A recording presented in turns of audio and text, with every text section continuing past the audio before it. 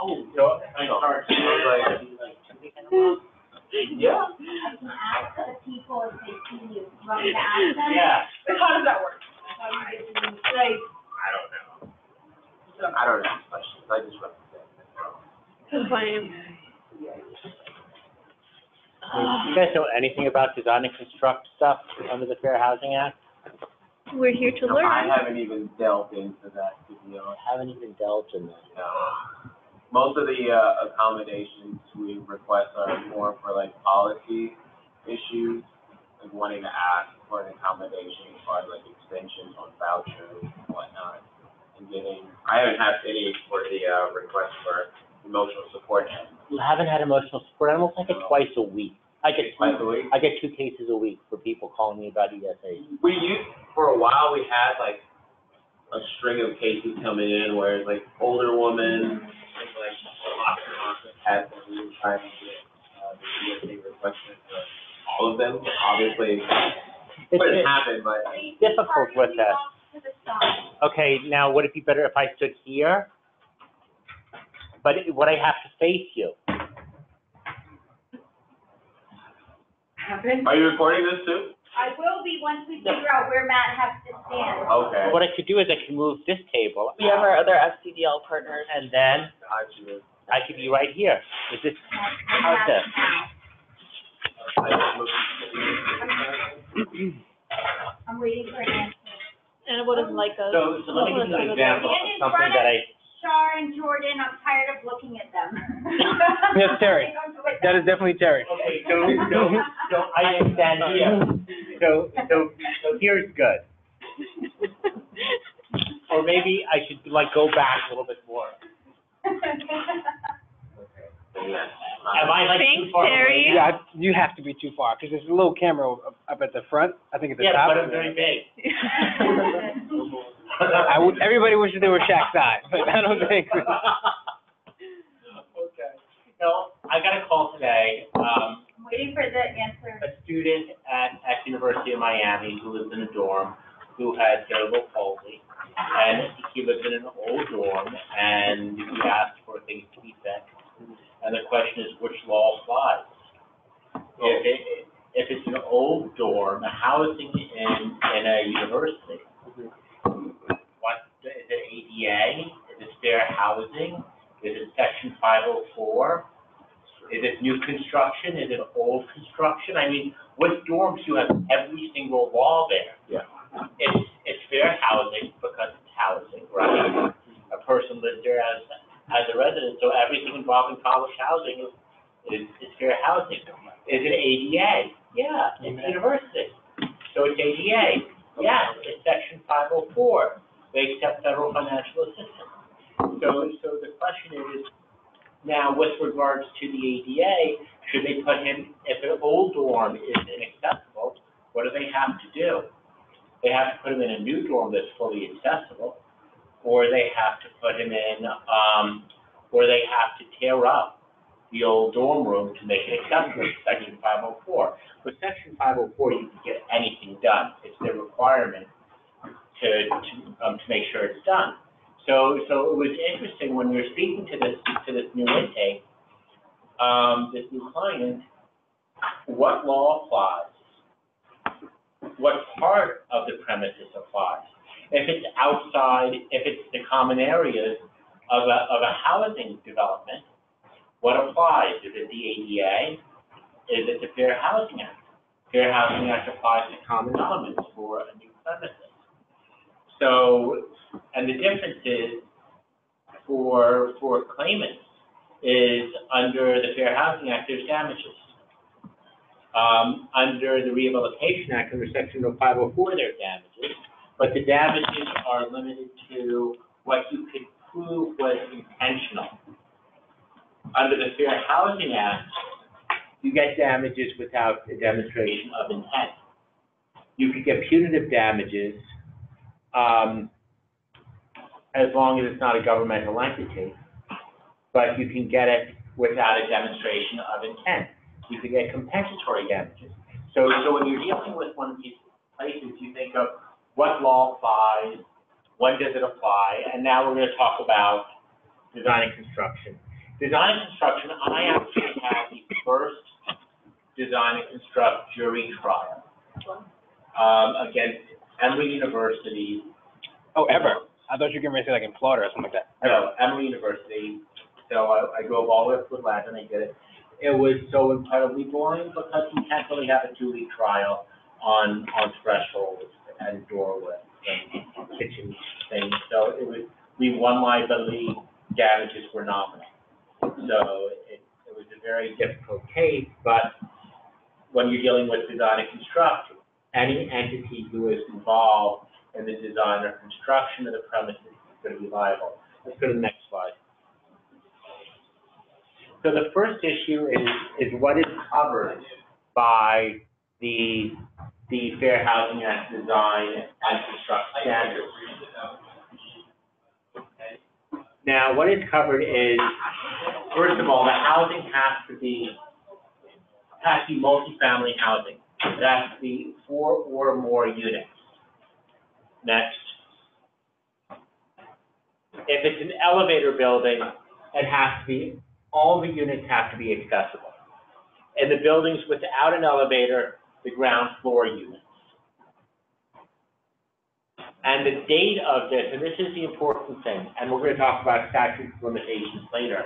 It has to be constructed for first occupancy after March thirteenth, nineteen ninety-one. So, Now, that, I was just gonna ask, so in a building without, out an elevator, somebody who lives on the second floor would not be able to bring a, co- a design and construction claim under Fair Housing Act, or? for, for their units on the second or, or higher floor that's not on an accessible path. Do- If there is an elevator, then everything would have to be on accessible. Hmm. But all of the ground floor units would have to be accessible pursuant to the Fair Housing Act stan- standards. Hmm. What is not covered? Single-family houses, duplexes or triplex, triplexes, or multi-story townhouses. Now, if you have a row of townhouses that are all linked up together, those would be four or more units in one structure. So it essentially has to be a townhouse that's detached, that's a freestanding townhouse. So any buildings, no matter how they're connected with each other, if there are four or more units, it's gonna be covered. Next. Now, the important thing is what is first occupancy? I have a question, Yes, going back to that. So for what, the part that where it's not covered, so detached single-family house is not. So You're saying if it's multi-story townhomes and they're all attached to one another, what is like they're, they all have separate owners? doesn't matter. Does it matter? No, it's like, it's like a condominium. I mean, condominiums is a building that's all attached and they're all different owners of the condo. If it's more than four units, it, it would be covered. Okay. What is first occupancy? First occupancy is, is an interesting concept when it comes to fair housing. Um, it defines the regulations, a building that has never been, that never before been used for any purpose. So it, it's a conversion from a commercial loft space or a commercial business into a multifamily dwelling. If it was from nineteen thirty and they tore up the whole inside of it and rebuilt it, in the inside, it would not be new construction. It would not have to follow the Fair Housing Act sta- standards. Next. So any alterations, rehabilitations, or repairs of pre-existing residential buildings are not covered. On the other hand, next one. No, no, no, go back. Oh, that, that was all one slide? I thought they were like all the one things. Okay, good. It's all together. So if, if it's an addition, let's say, let's say you have an old building and you're building a new wing on an old building, an addition on an, on an older building, that addition would be covered. So all the units in that addition would be covered. If you just use the facade of an old building, but built a whole new building in back of just a facade, that would be covered by, by the Fair Housing Act. So it's just a rehabilitation of an older building, no matter how much the rehabilitation is, would not be covered under the new construction sta- standards.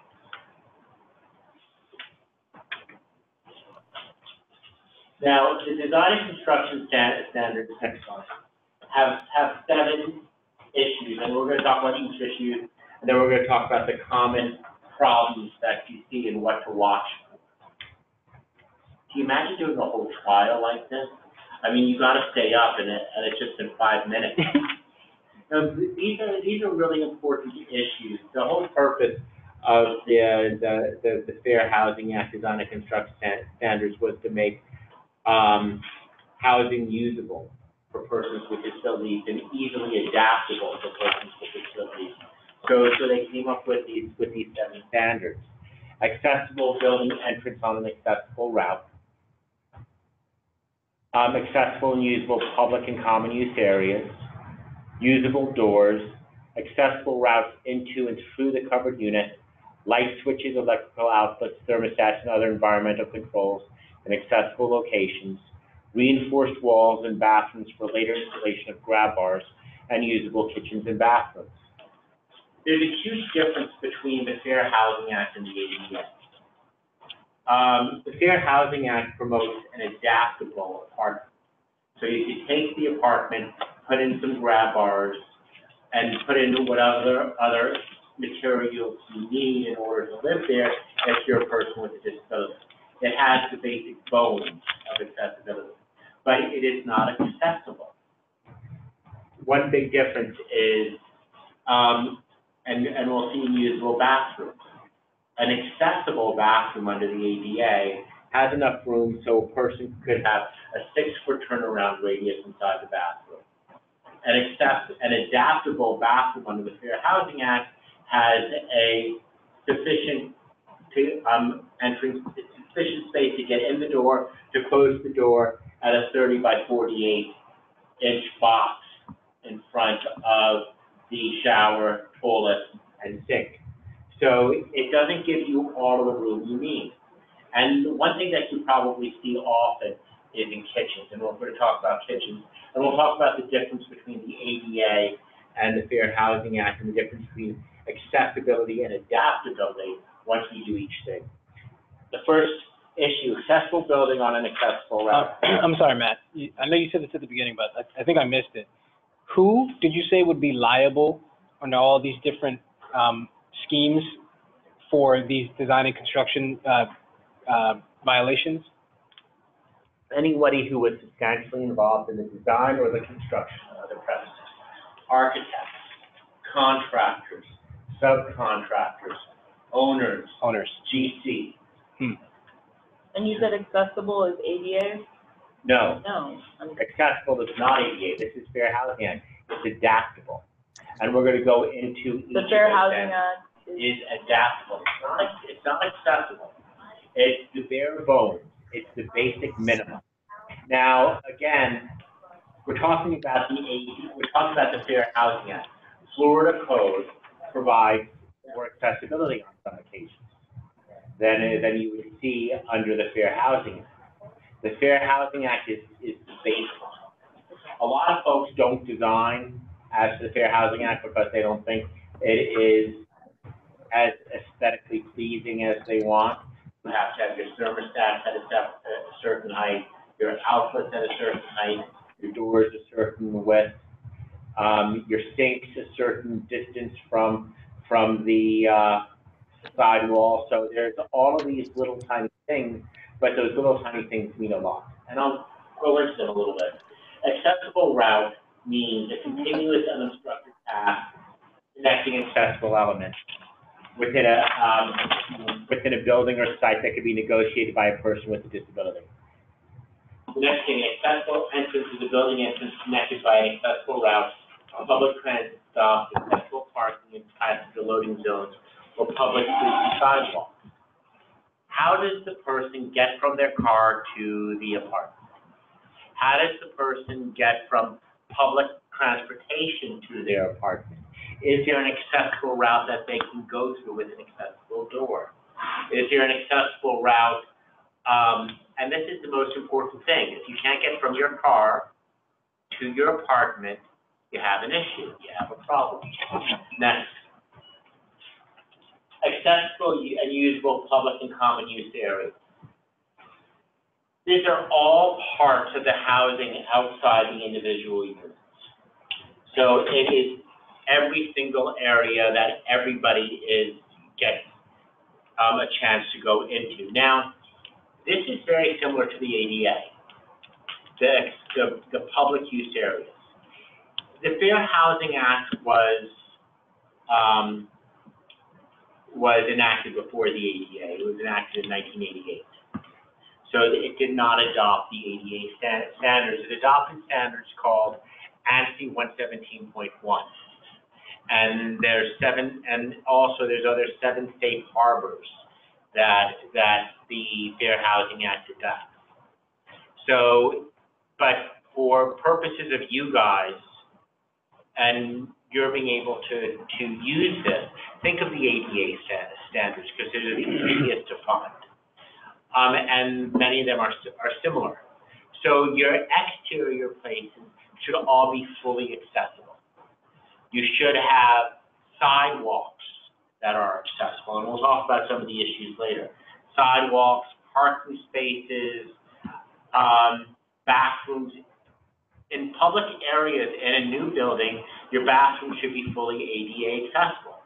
You should have a, a accessible stall. You should have accessible, instead of having doorknobs, they should be levers. So everything in the public and common use areas must be fully accessible.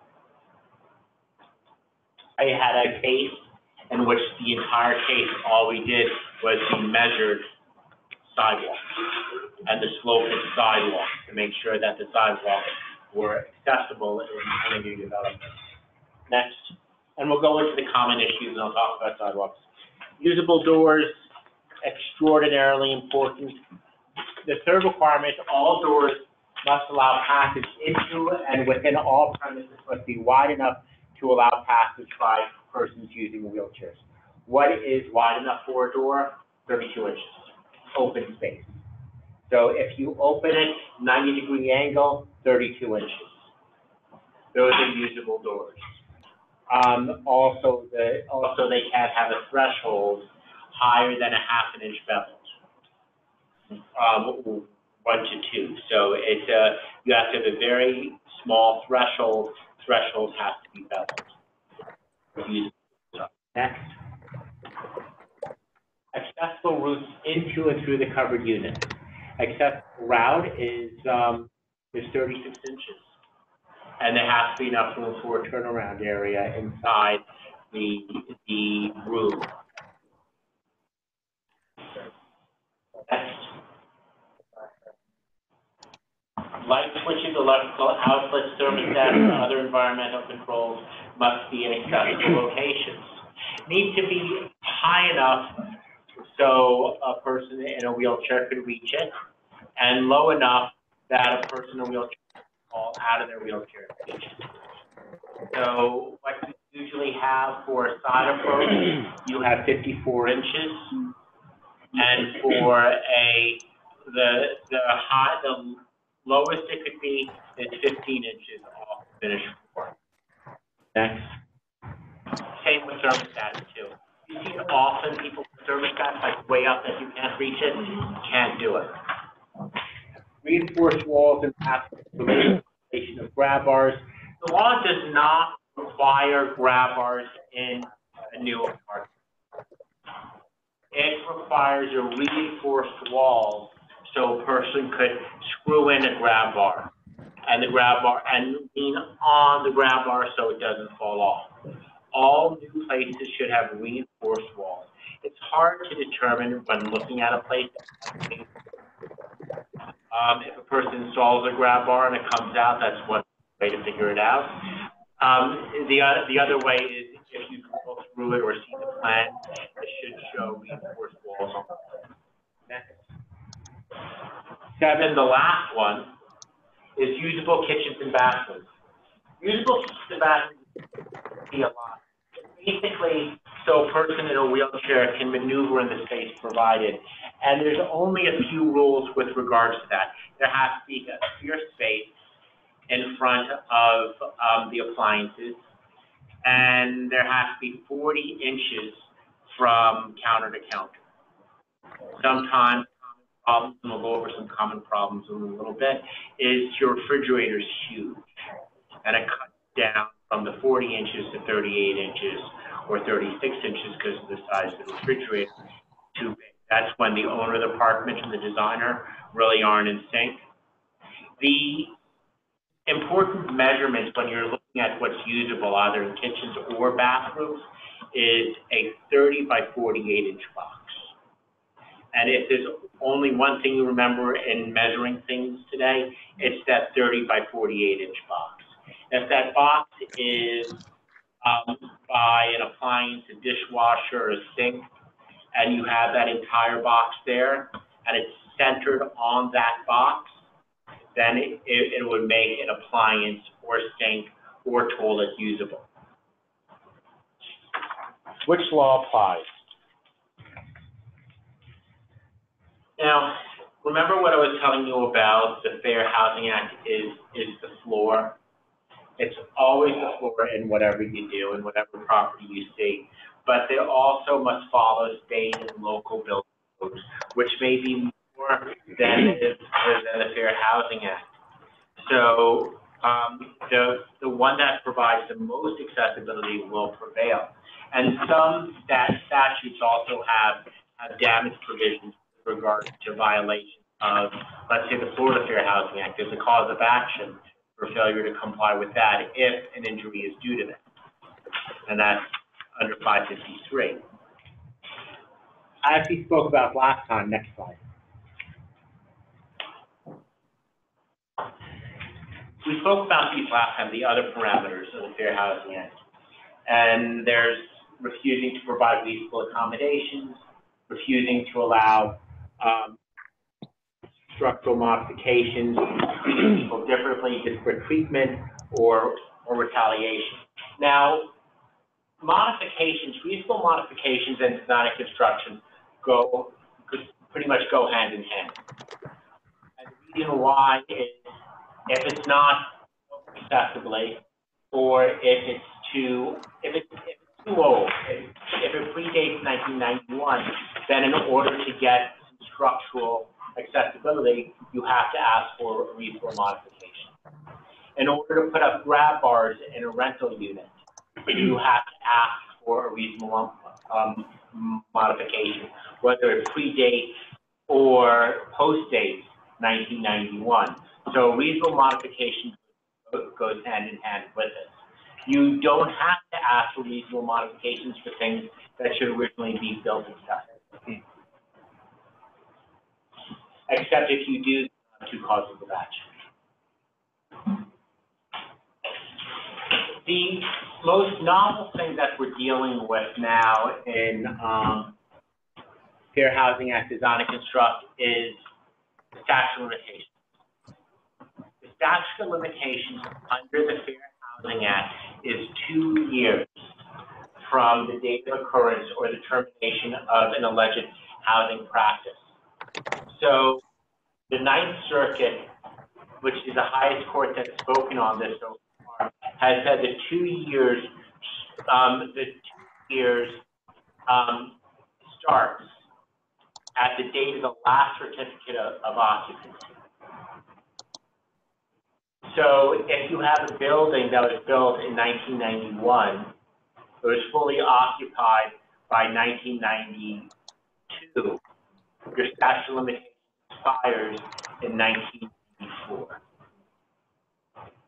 So it's very difficult to bring a case against even in the nineties or in the, in the two thousands, because you have that two years.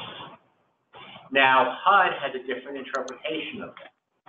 HUD does, HUD says that the statute commences when somebody is affected by a barrier. Now, nobody has done an appeal of a HUD ALJ action to the secretary to determine whether or not they're gonna go by what the Ninth Circuit said, or whether they're going to go by the HUD interpretation of it. In the Eleventh Circuit, I would not chance it.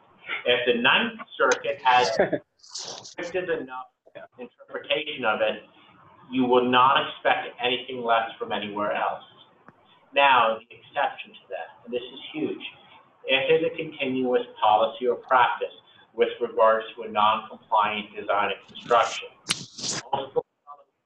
it's if their latest development, or if they're still building as to that same design and construction, where is that relevant? Every single affordable housing provider. Have you been to those places? They're all the same. It doesn't matter whether they were built in the nineties or whether they were built last year. So if I live in the one that was built in nineteen ninety, or where the statute starts running in nineteen ninety-four, or it expired, and you can show that they built, the same builder built a construction just last year, is that what you're saying? You got it. Gotcha. And that's, I had a case against, against Cornerstone. We went back all the way to the nineteen nineties because they're still building. Wait, is it premised on the identity of the builder or the use of like the design, the defective like construction design? It's the same thing, it's the other. If it's the same builder that builds the same, in the same way, it's still the same construction. It's still, you, you may have different persons sue. For example, let's with the same architect that they've used. Or a lot of these affordable housing providers do their own building. Or, or even have their own architects. I mean, that's how they save money in, in building their developments, affordable housing developments, and that's how they get the funding, and they save money each step of the, of the, um, low-income tax credit affordable housing, and the grants by, by having the same builders, by using the same programs, by doing all these things similarly. So, so what you need to do, let's say you had a, a building from nineteen ninety-five, and it was, I don't know, Pinnacle, or, or Carlisle, which I don't think is gonna build anything anytime soon. But, but, but let's say for argument's sake, Carlisle, okay? And you go to something that was built in nineteen ninety-five, you would then immediately see what other buildings they built, what other, what other developments they have, check the newest ones to see whether or not they still build that way. So you would have to do, if you were doing testing, you would do testing through a whole bunch of their constructions. Mm-hmm. So, so you can't look at the development itself, you have to look at the architect and the, and the builder to determine whether or not you have a case. So, okay, so I'm getting at like, how, to what extent do you need to the actual design of the individual building? It sounds like you can't just say, oh, it's Carlisle now, same thing, you have to actually look at the. Yeah, no, you would have to look at it, because if they learn and they stop building it in a, in a defective, in violation way, you can't get them anymore. Yeah. Mhm. Um, you, you may be able to get them on section five oh four, or under another thing for, if they do receive HUD subsidies. But you wouldn't be able to get them under, under Fair Housing Act Design and Construct because of the two-year issue. Common design and construction of violation, this is where we have our good pictures.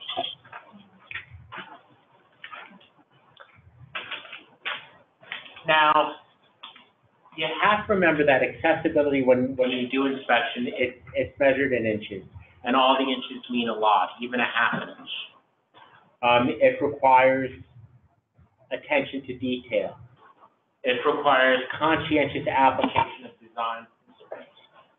So, um, the, the inches make a difference between compliance and non-compliance, especially when it comes to things that are measured in inches and half inches, like thresholds or doorways. Common violation. I got these from Fair Housing, um, Accessibility First. I love their designs. Um, entrance has steps, has steps or steep ramps. Now, this is a necessary tool. This is a smart level. Guys seen this? Every expert has it. It's something that, it's something that you need. It basically says what the slope is. Oh. And it does it in a way that, um, you could, you could measure even a slight variation in slope. Because when you're looking at the common violations of what's your, your, your slope, you have to look at both the, um, direct slope, the running slope, and the cross slope. Because if the running slope is too steep, you're, you, this, what this is what happens. It's a skateboard ramp. If the cross slope is too steep, then what happens is you flip over, or you go into the street. So, and this is part of designing for, um, and for entry doors and for common areas. Now, if you have, uh, so you really have to watch that it really is no higher than, than, than two inch, than two inches, than two percent for, um, for a running slope, or else it may be too steep. Now, if it's over, um, five percent, which is one in twelve, then that's, then that is, then that is too steep. It's, it's too steep to be a ramp, and you, if it's under, um, if it's between, gosh, I'm gonna get all these messed up. But they're all in there. If it's, if it, if it is less, if it is, um, between two percent and one in twelve, then you have to have handrails. But again, there's a whole issue of having a flat surface by the entry door. So you really have to watch out that your entry is usable by a person who is in a wheelchair. If you have your entry on a slope, a person will not be able to get into the door because you will not be able to open the door and get through the door if you're on a slope.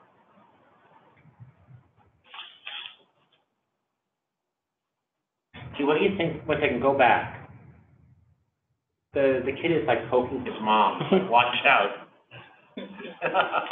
Okay, go ahead.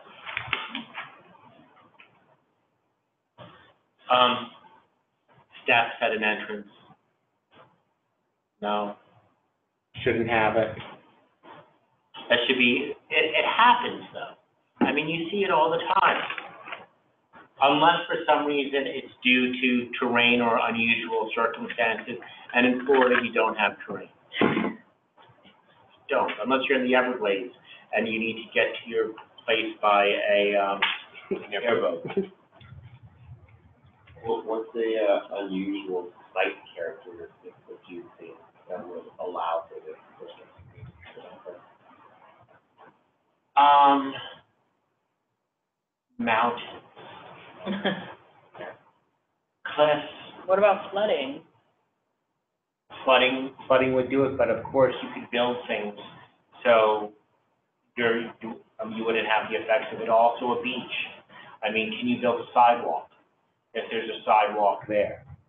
I mean, there, there's very few site, there are very few site characteristics that you would see in South Florida that you would really have an issue with regards to, um, having an entry into a premises. You, you see them more on places that are more mountainous.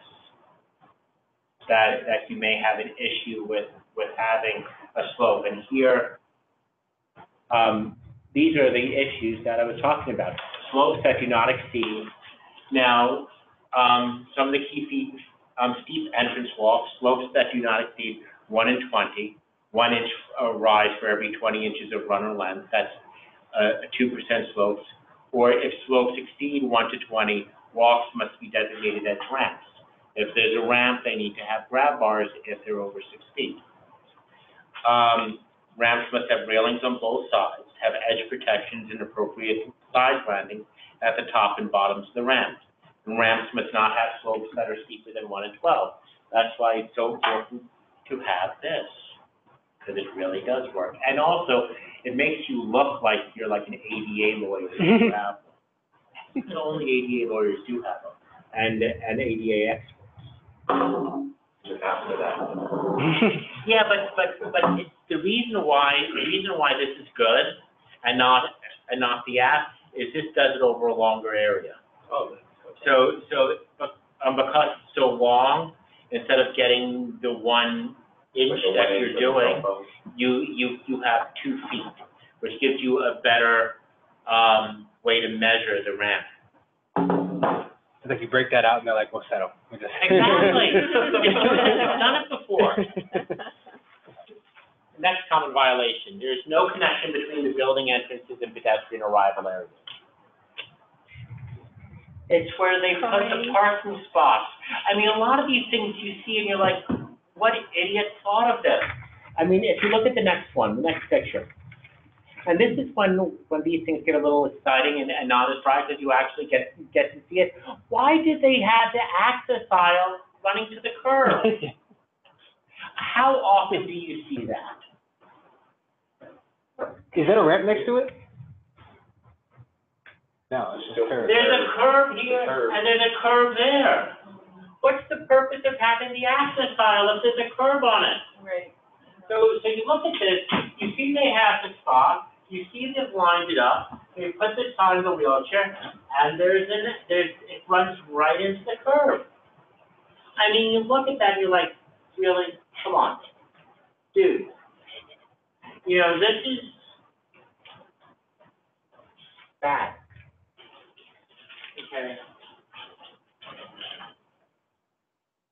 When entrance walks are required to be accessible under requirement one, they must be accessible at least from the dwelling entrance to pedestrian arrival area. Must not be any steps and curb ramps must be used.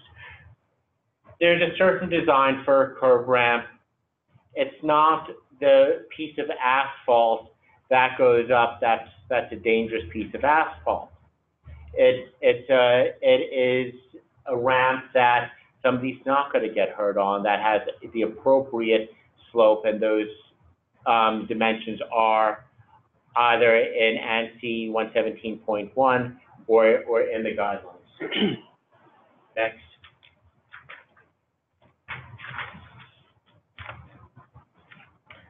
Ramp accessibility solutions provide entrance walks with slopes not greater than 120, provide accessible route to pedestrian arrival points.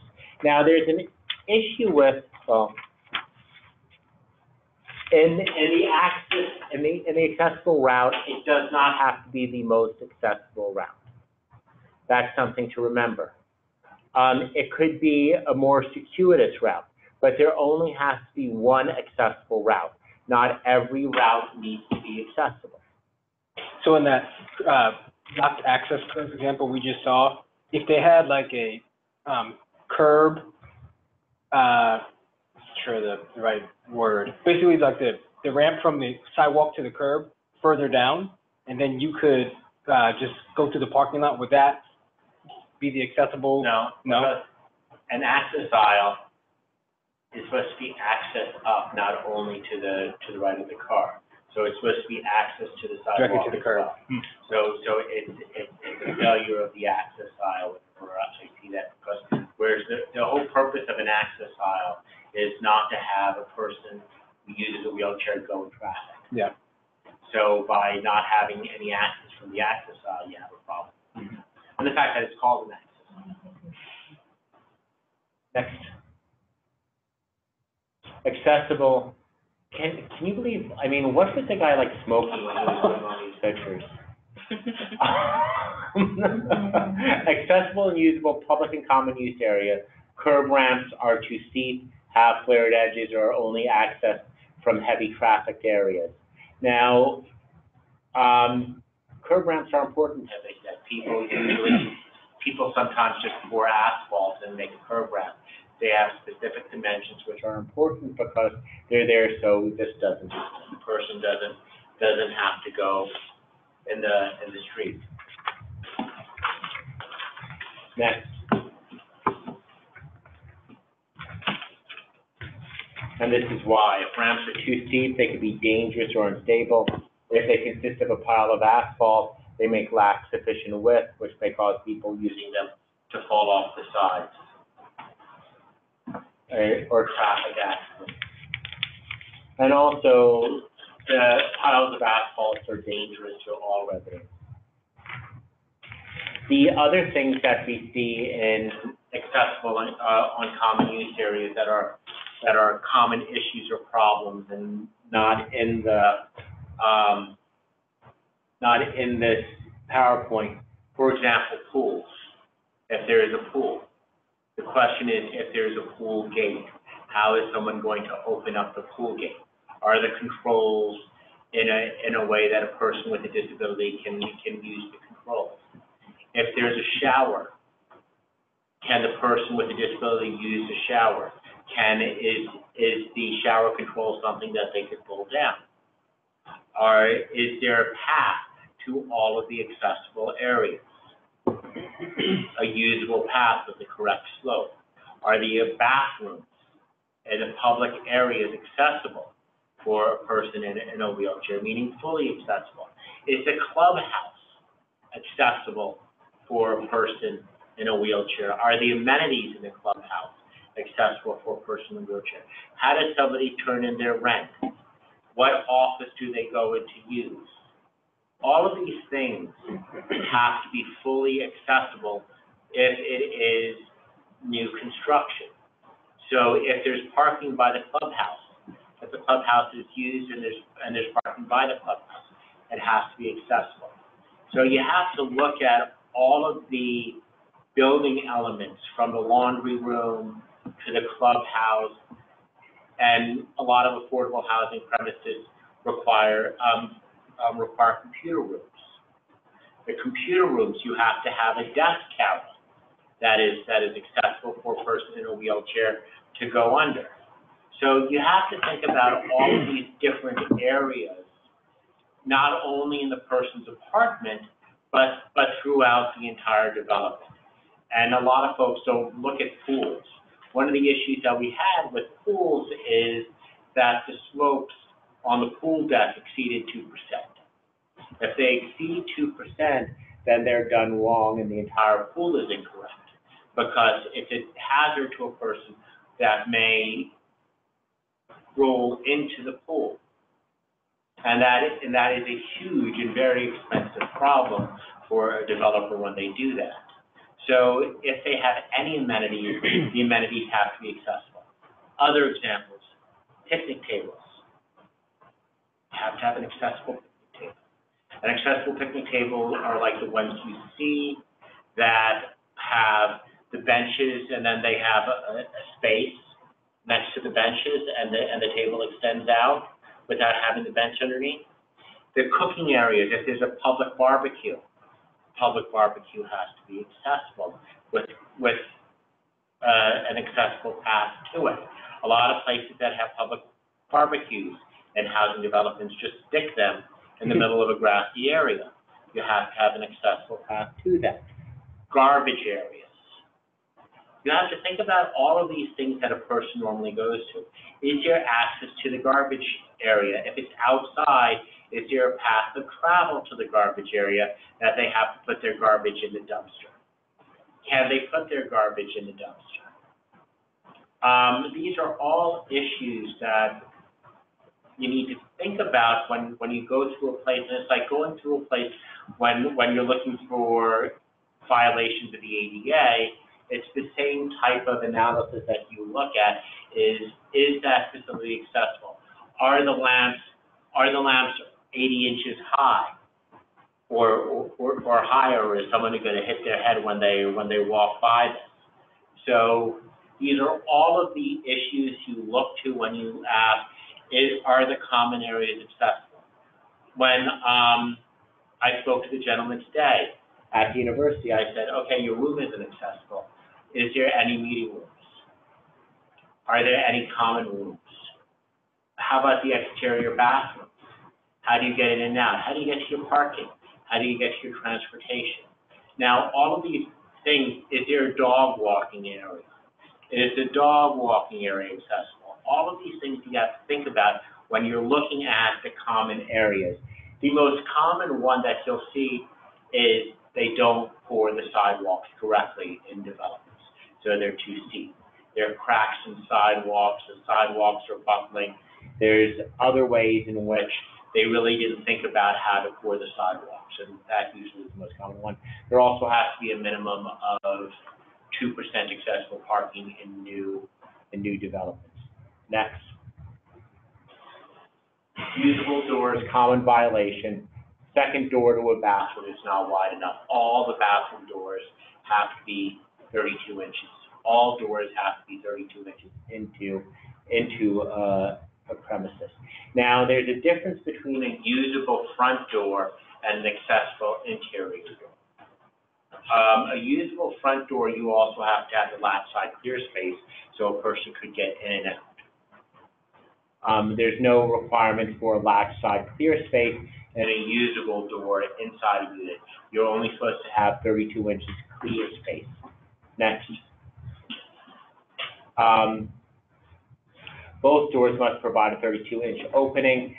Ways to do it is to, what you do is you switch the latch on the door, so instead of opening in, it opens out. That sometimes in- increases the space on the door, or you use a pocket door. Pocket doors usually increase space because the, um, the frame of the door takes up additional room. Next. Accessible route in and throughout the unit. Okay, next. Level changes at primary entrances are too high, thresholds.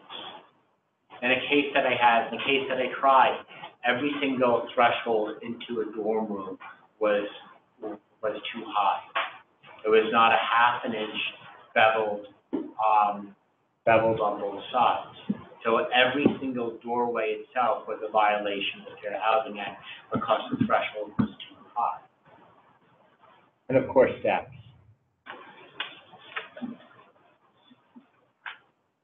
Primary door. Um, an entrance landing to a ground floor dwelling must be no more than a half an inch below the finished floor of the unit if the landing is made of impervious material like concrete. So, and if it's pervious material, the, the- landing must be flush with the finished floor. This is for, um, um, this is the exterior door. You really have to have it level so a person can come in and out. Next. Carpets, don't do it. It has to be, it has to be stable. Um, what you basically do is you, is you bevel it. Um, um, you bevel the threshold if you have the necessary height.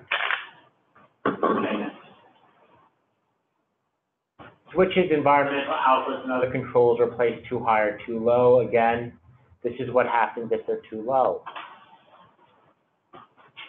Next. I know. One of the things that you have to, you have to, um, one of the things that you have to watch out is obstructions. For example, let's say you have a countertop.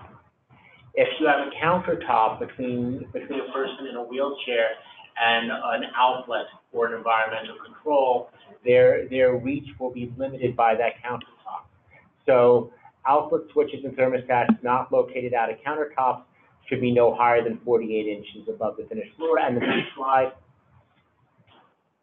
um, without, without any space, let's see if it has the dimensions there. Oh, good.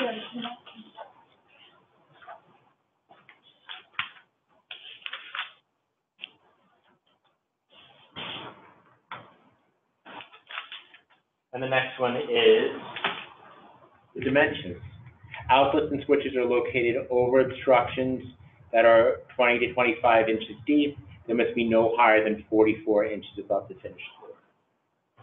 What is the remedy? What happens if they do this? What do you think happens if they don't do one of these things correctly? Like, put a thermostat higher than forty-eight inches, put an outlet, um, higher than forty-four inches or lower than fifteen inches, what do you think they have to do? Fix it? Yes. They have to fix it and they're liable for damages, but the fix is always a lot more expensive, because if they did it to one unit, they, and they did it to all units. Uh, so if you bring one of these claims, and so like if the plaintiff is somebody who's in a wheelchair, right? Part of the request for, for damages is fix every single unit in the, that's covered? Yes, Wow. You can't just fix that, that instant unit. It's gotta be the yeah, entire. it's in, it's, it's a violation, they have to fix, fix what's wrong with the, with the premises. And, it- and if you represent a fair housing organization, it's a lot easier to expand the standing and Mhm. saying you really need to fix every single thing involved. So if you do find a common design, it's usually the design, it's not only the design in one unit, it's the design in four hundred units. It's not the threshold in one unit, it's the threshold in four hundred units. Sometimes in these things, when you're dealing with, with the height of, uh, an electrical outlet, you may be dealing with one subcontractor who did the same thing over and over and over again.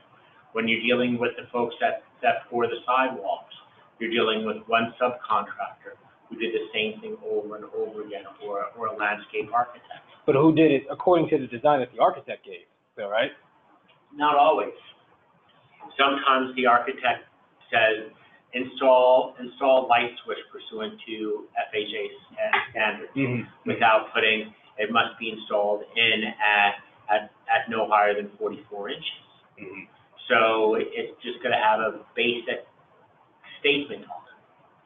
So when, when you have that, you really have a, a pattern of it happening for every time that sub, or every time, um, somebody did it in that, in that certain way. A lot of these times, it's not the, you, you see most of the issues with architects when it comes to an appropriate size hallway, when it comes to the size of a kitchen, when it comes to, um, the design of the accessible path. Um, when it's not something that is, um, detailed, then it's usually the builder, but it's the builder's responsibility to make sure that it's done. Like an accessible path, like a threshold, to make sure that the thresholds are fine, thresholds aren't fine, to do a threshold fix, to make sure the thermostats are, are not too high, but a lot of times, they don't see it, and a lot of times, code inspectors don't even inspect for it. Like, I've been in places where every single thermostat is at fifty inches high. What do you do if it's a hallway? That's not an easy fix, like, how do they fix that? The hallways are too narrow. Um, usually hallways too narrow really doesn't happen, but what would happen is they'd have to move the walls. So it's, these are all, all of these things, when you're talking about a design and construction case, they're always, the, the big issue on this, the injunctive relief, because it costs so much. And that's why you really need to sue everybody in one of these cases.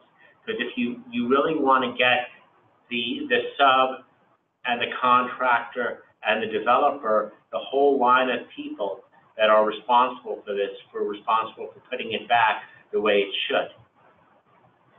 Next. Think about our, our, cli- so we represent both like people who would live in these units, as legal services, but also like, we have a small business unit, right? So subcontractors, right? So one of these suits might not bankrupt, you know, a, a GC, a huge company, but it absolutely would if they were sued for like subcontractors. I'm trying to figure out like, what recourse would you have as a sub if you were given like, build it this way and you did it exactly like that and it was an FHA violation? Um, the same thing that if you had a, a landlord tell a realtor, I don't wanna, I don't wanna have black people in my unit, and the realtor goes, okay, Mhm. let's not have black people for our unit. Yeah. It's the same type of agent, agent liability. Mhm. Reinforced walls in bathroom, reinforcing walls during construction, so grab bars may be installed later. Next. This is what I was telling you about before. Um, are put in, in a, in a defined area. So they're always in, in, in a, in a certain place, so builders really know how to, where to place reinforcement for walls. Next. And it's both behind the bathtub and, and behind the toilet. Next. Side walls and back. Next. So this is, this is how they do it during construction. They, they just reinforce, they enforce reinstalling, um, behind it on the, on the, um, joists, studs, on the studs. Um, or they have factory reinforced tub and shower units that, that they use that you could install them on in any event. If it is senior housing, I always recommend the builders to in- pre-install the grab bars, might as well. Next. Usable kitchens and bathrooms, this is, this is where I see the most problems. Because here you're dealing not only with the architect who has to design a bathroom or a kitchen in a certain way, you're designing, you're, you're dealing with the various subs, and you're also dealing with the folks that buy the stoves and refrigerators and other things that further cut down on the space that's available in a kitchen and, and bathroom. Now, when you're dealing with a kitchen, the most important thing to notice in a kitchen is you're permitted to have a galley kitchen. The galley kitchen are those U-shaped kitchens that you see all the time. You know which ones I'm talking about? So, so there has to be forty inches from counter to counter, unobstructed. So when you have a refrigerator that's, that's too big, it's gonna cut into that forty inches. So the landlord or the builder must have a smaller refrigerator. Can you say, I like my bigger refrigerator, I don't mind having the, the, the space taken away, of course. But if you want a re- refrigerator within the two years, what we usually do is we have, uh, a way in which to, um, have an option to take that refrigerator out, replace it with a smaller unit. Now, the, remember what I was telling you, the thirty by forty inch box is what you should remember? There has to be 35, 30 to forty-eight inch space parallel to and centered on the kitchen range and sink. So it really is, so a person in a, in a wheelchair could use the kitchen range or the kitchen sink. If you, if there is not enough room, the person is not going to be able to use the sink, not going to be able to use the range. Next. So this is how it, it, it works if it's designed correctly. Now, I'll now go back one. Now, in this circumstance, it's not. So when the, the sink is in the corner, you see that the, that the person who uses a wheelchair won't even be able to get into the kitchen range or, um, kitchen sink in this because they won't be able to get close to it or, or, or to it in any event. Next. Next. Now, a solution to that is to have knee space, clearance by, by the kitchen range or sink. So the thirty by forty inches is, is not parallel, but perpendicular to it.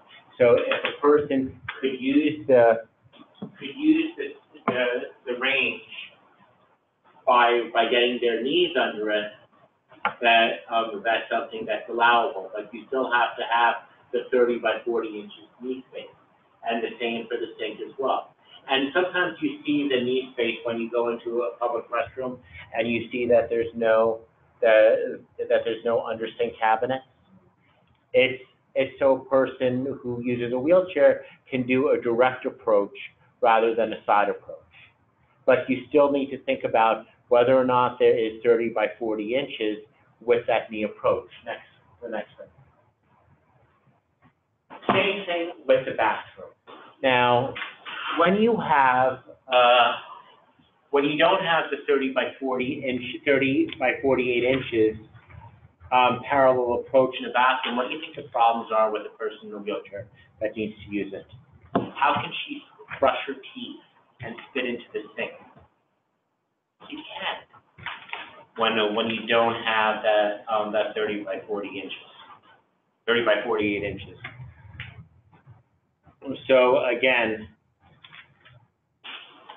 so what you see sometimes is this, this area is fifteen inches, and this is a must. If it's any closer than fifteen inches, no matter what you do to this, it's gonna be non-compliant. A corner sink is non-compliant. Um, if it is thirty by forty-eight inches, if it is thirty by forty-eight inches, so if there's thirty inches from here to there, what you need to do is you need to have a front approach, so the person could go directly into it, and there's thirty by forty inches here.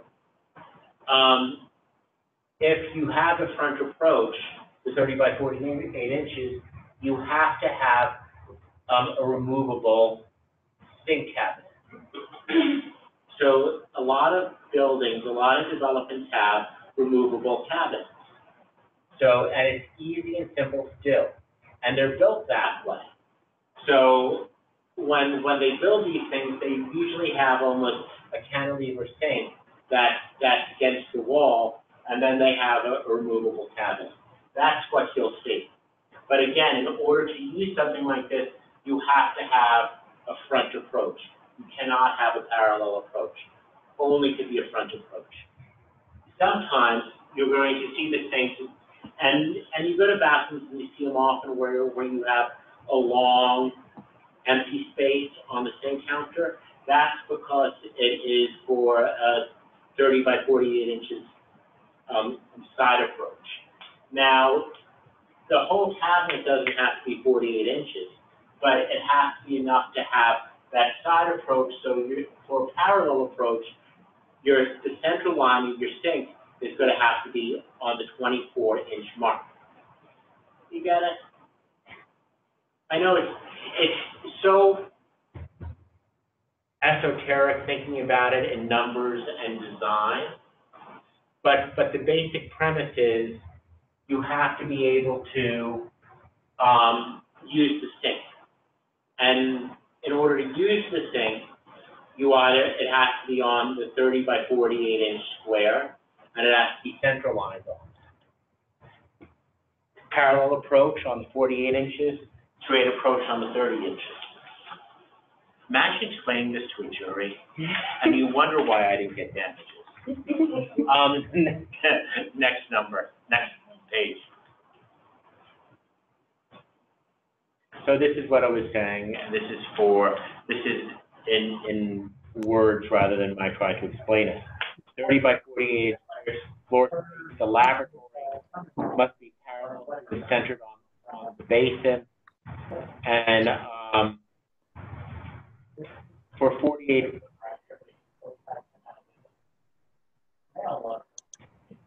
For thirty-six inch wide vanity, the, the sink would have to be offset to obtain the required clear floor space. Again, all clear it means for purposes of the Fair Housing Act is the thirty by forty-eight inch square. Now, the thirty by forty-eight inch square is another important factor when it comes to a bathroom. The thirty by forty-eight inches has to be outside the swing of the door. Why do you think that's important? Because if the door was in the thirty by forty-eight inch clear space, you would be able to close it. And that's a huge issue. It's a huge issue with my client who called. He uses a walker. He cannot leave his walker in the bathroom and use the bathroom without leaving the door open. So whenever he uses the bathroom, the bathroom, so that is not usable for a person who uses a wheelchair. How do you fix that? You change the swing of the door to swing out rather than in. Now, the issue with design and construction is something that, um, you would think is, is very rare, but a lot of people don't even look for design and construction cases. Fair housing associations don't have the funding to do a lot of design and construction testing, and it's a special test regimen that, um, that they need to do in order to find out if there are violations. They happen a lot when it comes to affordable housing, because you try to get as many units in as small of a place as possible. So, so that's when you would see a lot of the violations when it comes to the size of the kitchen, which you see a lot. When they have a counter, even though it, uh, looks like a huge kitchen, but they put a counter between the kitchen and the living room, and then there's not forty inches there between counter to counter, um, counter, cabinet to counter or counter to counter. Um, that's when you see these violations when it comes to these units. You see bathrooms that, that have, um, really small laboratories where, where you have less than a foot between the side wall and the faucet. Those just are not usable. You see, you, you could look under the cabinets when you see a thirty inch, um, laboratory and not a forty-eight inch laboratory and see that, um, that they're not removable. Usually you see two screws in the back where they just come right out. And if they're not removable, that's a violation. So you could look at all of these issues and say that, that there's something there. To the extent that you represent small business owners and contractors, it's something to say, are you aware of? You have, to- it's not only the responsibility of the GC or the architect. If the architect says, install something pursuant to Florida code or ADA standards, how high do you want it? Hmm. Now, the best website that I've seen with regards to any questions involving the Fair Housing Design and Construction Standards is called Fair Housing Accessibility First. That is a program of the Department of Housing and Urban Development where they do training and outreach to architects and contractors for fair housing accessibility. It also has the most recent cases and the most recent guidance. Fair housing, It's, yeah, if you want to type in fair housing accessibility first. Um, Dot com, dot gov. well, we'll put it up now. I think it's, I think it's dot com, but, but let's say fair housing accessibility first.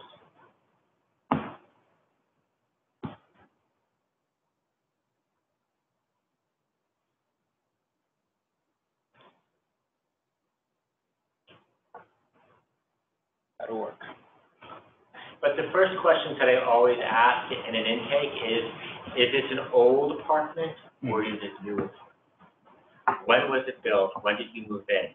Uh, Because, so you could like deliberately break it if it, If it's, if If it's it's old. before, if it's before ninety-one, not even, doesn't even do anything. If it's after ninety-one, who's, who built it? What's the standard? Do your clients ever know that? I mean, I, I, I feel like clients would know when they moved in, but not when the building was built. Well, well, sometimes they move in when there's a lease up, like when they, when it first opens up. And then, and then they, they, they know. And sometimes they don't. Where, where also a person knows whether or not they, they live in a pretty, a pretty new place or one that was built in the nineteen sixties or seventies. I mean, that, that's something that they would know.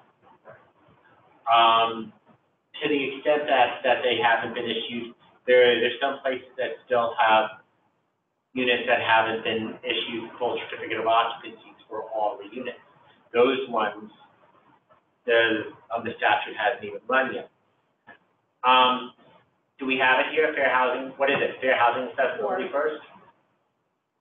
Yes, that's the webpage, fair housing first dot fair housing first. Can you turn to the homepage? I They're will- not.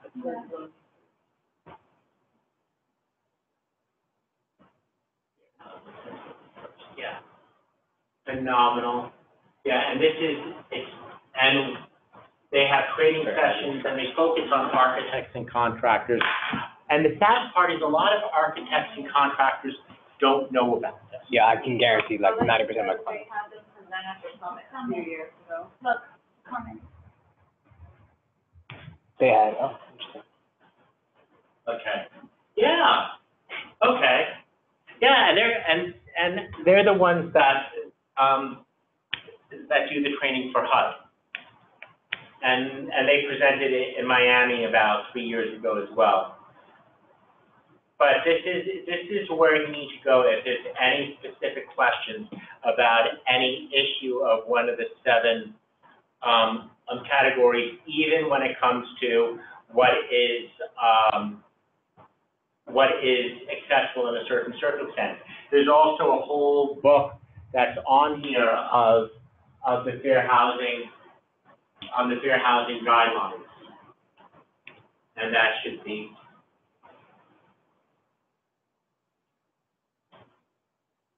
I already know, I'm putting indemnification up to wazoo for, in every single contract.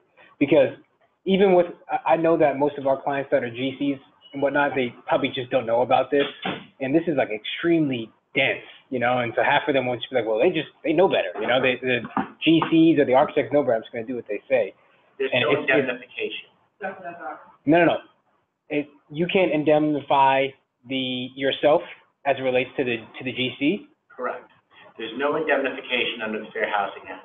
It's like any other discrimination case. Yeah. You're, um, you're liable for your own acts. You cannot sue for indemnification or contribution.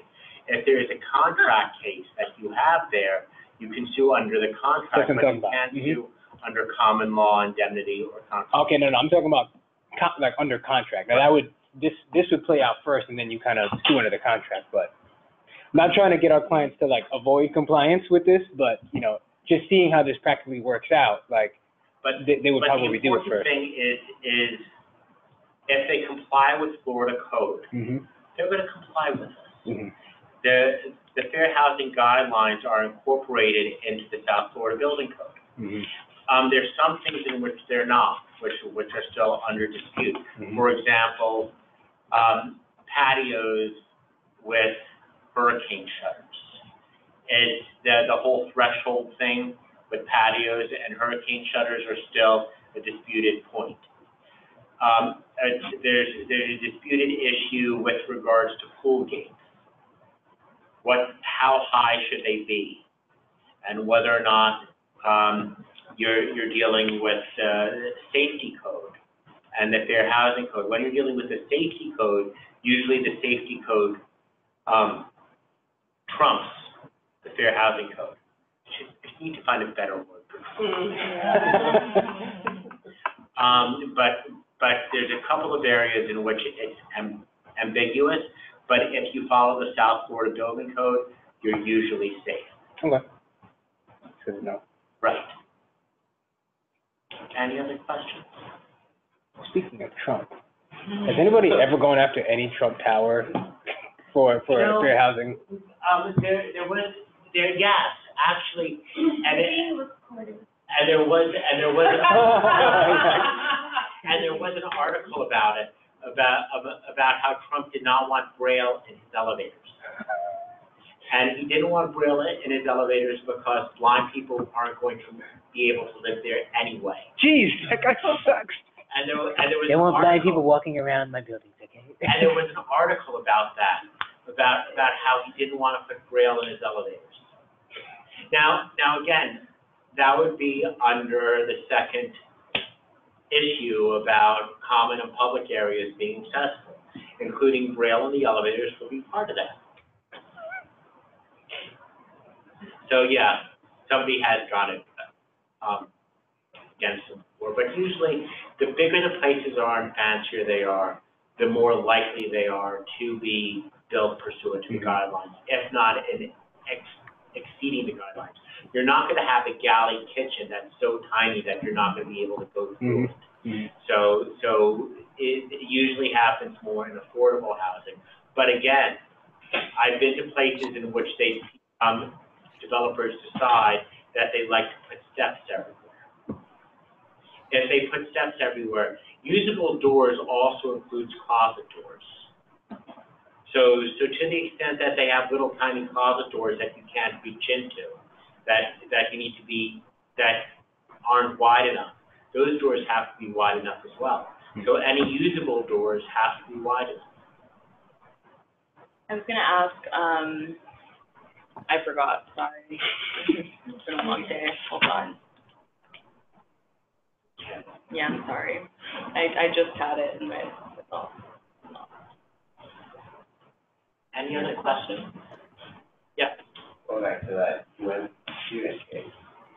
So, obviously, some of the resolutions that would be either to have that student go to another unit where it's accessible. And let's say that's not the case, and all the, um, units there are old, built after nineteen ninety. And that applies, will the resolution there be essentially go after everyone that was involved in design and construction and have them change that? Now, those are a couple good questions. If the, the issues you have in a university like UM is homes were built for the past thirty years.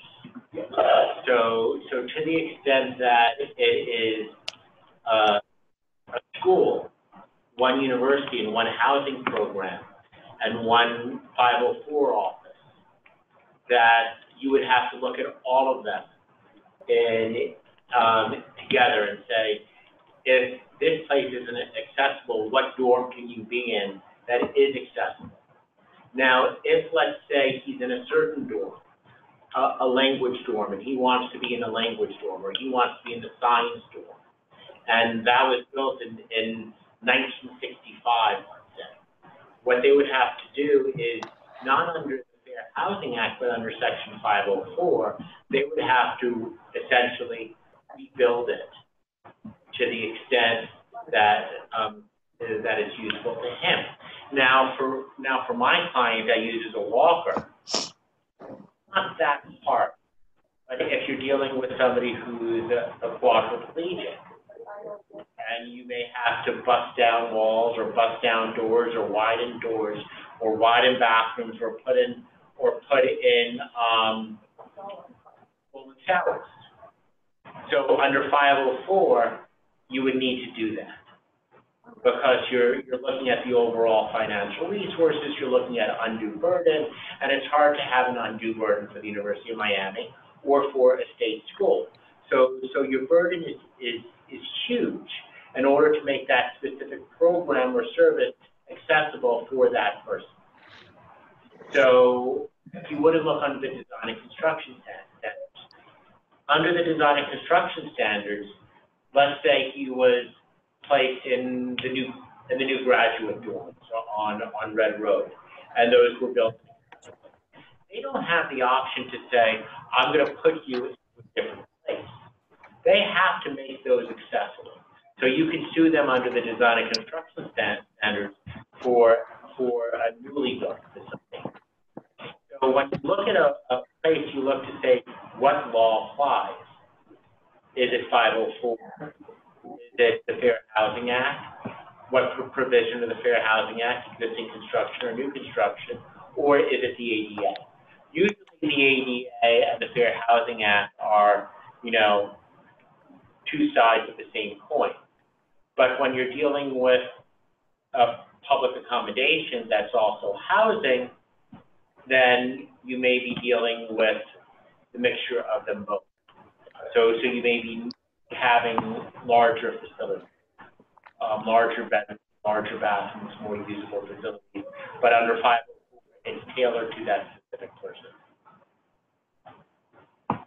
You said the remedy is always, they have to they have to fix the building and all the units. Remedies, yes, they have to fix, they have to fix the, the issue, you get injunctive relief, they have to fix what's wrong. You have But this is- monetary relief, you have compensatory damages, So is settlement not an option? settlement's always an option. But they still have to do you can't just, the You can road. settle for whatever you want, Mhm. but, but if you have a good settlement, you would want them to fix the problems, or to have some other fix, or to have a retrofit fund, or to, um, like, one of the things that, that we've done for a condominium association, when they had ramps going into every single patio, you must have a supply of twenty ramps. And that if somebody wants one, you have to put one in. Or if you have an existing person there and they want the bathroom fixed, in order to have, uh, a, um, room underneath the, the sink. Upon request, they, um, they need to do it. So you would have a listing to say, if you need this done forevermore, you have to do it. The issue in a design and construction case is you're not only doing it for the person who currently lives there, but for anybody who wants to live there in the future. So I have a question. And I'm sorry to address in my accent, but it's only a percentage of the units that have to be this. It doesn't have to be all the units. All the units, Well, I'm thinking if all, unless, unless they're not connected by an elevator. well, the reason why I asked that is because if all the units are that way, then I'm thinking that I see one of the, um, units that you showed where a person who's in a wheelchair is using the range. That's not accessible, that's not usable, because it's too low. Do you see what I'm saying? So why would somebody build all their units that way? Because they have to. Right, with all this new construction, like, all new construction is that. Um, and you could, um, you could alter it once you get in there, and you could do what you want. But, but once, but if you purchase a place, it has to be built to the, to the standards. Now, the standards don't say that you have to have a certain height countertop. The how, the, uh, the standards say you have to have usable bathrooms and kitchens. So you have to have forty inches from counter to counter. You have to have, you have to be, have it centered by thirty by forty-eight inches on the range or, or on the sink. But the height of it is not mandated. The height is, the height's not mandated, but it has to be usable. So, so, so the perfect usability for a person in a wheelchair may be thirty-four inches, but you don't have to have it at thirty-four inches, you could have it at forty inches. I, I guess I, I'm just not walking to What any they're- new construction ever and seeing any of that. Like, I've seen it in units that have been made compliant or adapted for that purpose, but there's, no- I mean, if you're going shopping for a condo or something like that, you're never gonna walk into a unit that looks that way. And if you don't, they could be sued. Got it, so. I mean, it, it's um, just, it, it's, it's every unit that was built after nineteen ninety-one, that's on an accessible route, that's in an elevator building, or, or in a building that's connected by, you know how sometimes you have garages that go up six flights in a building? So any premises, you have to have access to the unit, you have to have a way in and throughout the unit, you have to have usable kitchens and bathrooms. There's a issue which I'm there's a type A bathroom and a type B bathroom. If you have a powder room in the front, there's a different construction for that. But, but for the most part, you have to have usable bathrooms, usable kitchens, doors that, that are usable, and, and doors you can get into and out. But the kitchen design is, is something that is a problem that you see in many units, but the issue is that if a person wants to change it, once they buy it, they can do what they want with, with their own unit, but it must be initially built accessibly, so it could be adaptable. And if all the units you've seen don't look like that, that's a problem. The accessible, like, you know, the entryways and all those things, what I'm really stuck on is like, instance, for me, so like the thirty by forty box, I can imagine it, okay, what seen, but like, I've never seen a range that low. Most are, It doesn't, it doesn't have a, it doesn't have a height of the range, Right. because you're, you're not going to have a range that's, that's, that is at, at forty-two inches. That's, that's too high for any person. And a stove usually is by design about, about thirty-six inches. And then you have the counter that's on top of it. So, so to the extent that it's a normal range, it's fine. The issue you have to watch for is for a person to get around. Any questions on the phone? Yes, we have a few questions here in Broward. Great, Broward. Uh, you guys can hear us? Yep. Oh, wonderful. So the first question that we had pertains to whether or not these design and construction standards um, are applicable to post 1991 assisted living facilities and nursing homes. Particularly where there, Um. there are units that don't necessarily have kitchens, um, So that was a kind of our, our question here, one of our questions here. Uh, a nursing home would be, you would look at the ADA sta- standards for a nursing home, for the Okay. most part. Okay, Um, unless, unless they are individual living units, like, like one of these assisted living units, like the Hyatt Assisted Living where, where it's an apartment. Um, to the extent that it's more of, uh, a nursing home type, type issue where you have a room and, and a bathroom, you would look more to the ADA sta- standards. okay. Um, and I think you may have answered our question, another question that we had in our presentation, but um, a very common thing that we keep seeing are people trying to construct um, micro units. And we're presuming that those would need to comply to the design and construction standards that you specified today. Without a doubt.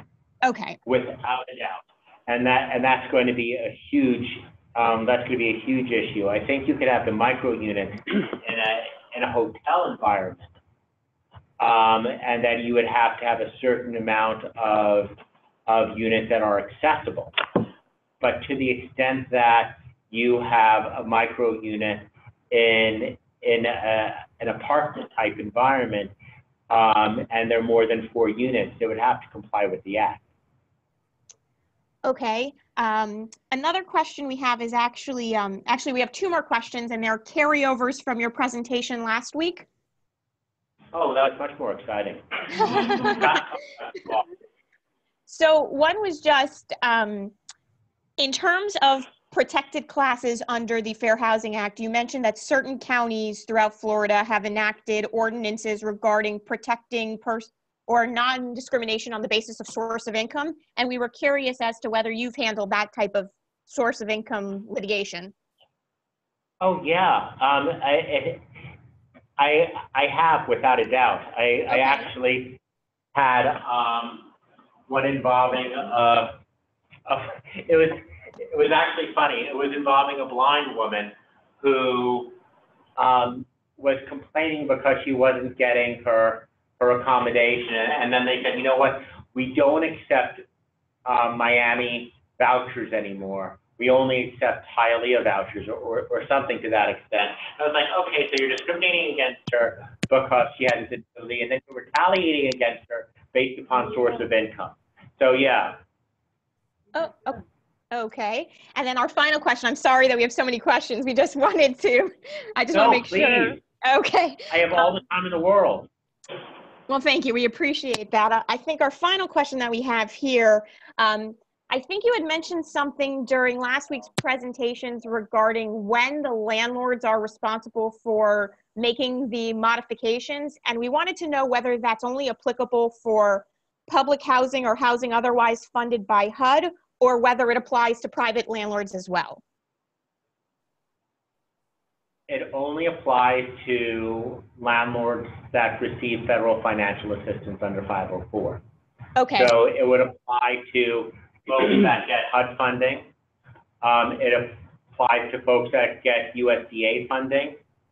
It applies to, um, colleges, universities, dorms, things like that. It applies to medical facilities. For example, if somebody gets Medicaid or Medicare funding.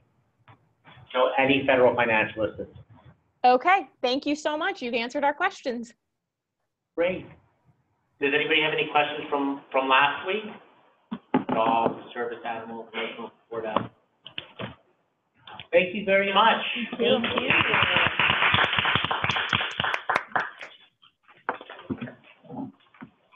Thank you.